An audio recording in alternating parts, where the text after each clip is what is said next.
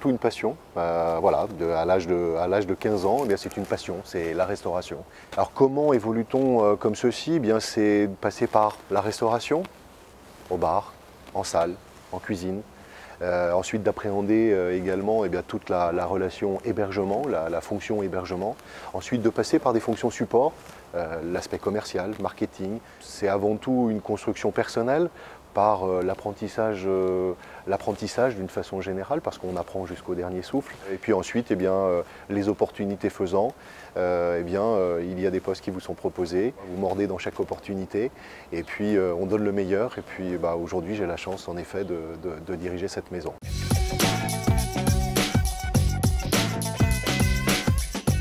Déjà aujourd'hui, qu'est-ce que c'est l'hôtel Fouquet's Barrière? L'hôtel Fouquet's, c'est un peu plus de 100 ans d'histoire avec le restaurant Fouquet's, au coin des Champs-Élysées. L'hôtel Fouquet's depuis maintenant 8 ans, 81 euh, chambres et suites euh, qui surplombent la plus belle avenue du monde. Et puis ensuite, c'est une histoire patrimoniale, une histoire d'entreprise.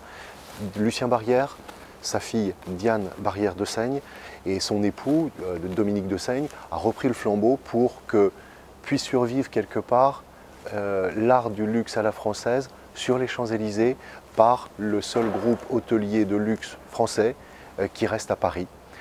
C'est avant tout ça qui m'a quelque part interpellé. Quand M. De Seigne me propose ce poste, je me dis, c'est juste un, voilà, une, belle mission euh, que d'aller encadrer euh, et d'aller emmener cette équipe de 450 collaborateurs au service de nos clients au quotidien sur quatre restaurants, trois bars, un hôtel de luxe avec cette notion d'authenticité, de sincérité, de non ostentatoire permettant de délivrer le meilleur service et permettant de quelque part de, pérenniser cette, euh, marque Fouquet's, de l'emmener sur aussi les années à venir parce que c'est aussi notre rôle.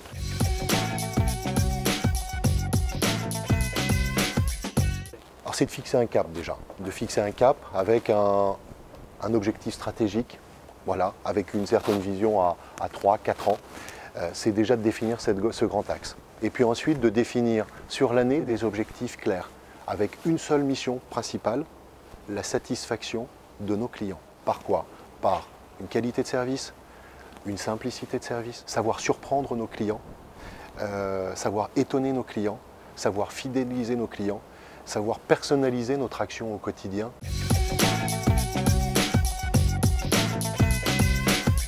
Quand nous observons nos quatre restaurants, nos trois bars, eh bien nous avons toute un, une pléthore d'offres à proposer le Café Fouquet's avec euh, cette, cette, brasserie sur les Champs-Élysées, le restaurant traditionnel, la brasserie de luxe à la française, la petite maison de Nicole avec toutes les saveurs méridionales qui vont résonner, le restaurant Le Diane, le macaron Michelin, l'étoilé Michelin, euh, qui va produire quelque part cette gastronomie. Le bar Le Lucien, avec cette offre de bar parisien, eh bien, nous essayons de reproduire quelque part l'offre de restauration à la française. En termes d'hôtellerie, lorsque nous sommes dans une chambre euh, exécutive sur les Champs-Élysées, 45 mètres carrés, où nous allons sur le balcon avec d'un côté l'Arc de Triomphe, de l'autre côté la Concorde, dans une décoration signée Jacques Garcia, nous sommes quelque part dans ce que nos hôtes qui, viennent euh, nous rejoindre s'attendent à avoir, c'est-à-dire ça, c'est Paris. Et aujourd'hui, quelque part, notre différenciation, sur laquelle nous, nous attachons, je reviens encore sur ce sujet, c'est l'ultra-personnalisation, l'authenticité, la sincérité.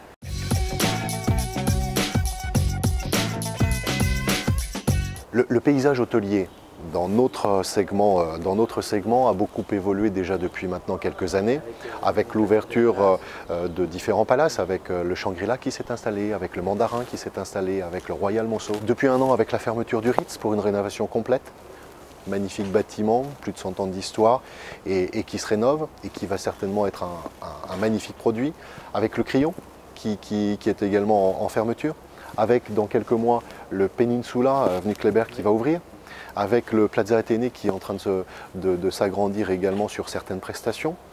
et euh, eh bien tout ça, ça va encore augmenter l'attractivité de Paris. On pourrait se dire, il va y avoir trop de chambres à Paris mais on peut également prendre l'effet inverse. Avant de vendre un, établissement, nous vendons d'abord une destination. Et plus elle rayonne, plus elle se vend. Donc aujourd'hui, maintenant après 8 ans d'ouverture de, l'hôtel Fouquet, il est aujourd'hui installé sur le paysage hôtelier et nous, sommes, nous faisons partie du, top 10 des, voilà, sans prétention, je pourrais dire top 5, mais top 10 des, hôtels à Paris et des références. Nous produisons quelque chose de différent des autres. Les autres produisent quelque chose de différent de nous, de par notre localisation, de par notre qualité de service, de par nos différents restaurants, nos différents points de vente restauration. Nous avons quelque chose de différent. Je ne dis pas que nous sommes meilleurs et que nous sommes moins meilleurs, je dis juste que nous sommes un peu différents.